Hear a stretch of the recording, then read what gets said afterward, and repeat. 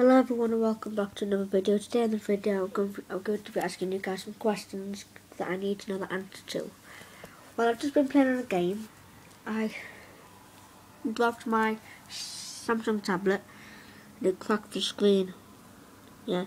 This thing here to, to protect it what's holding all is what's holding in all the glass now. As you can see the screen is clearly cracked. can you see that? Yeah, that, that's better.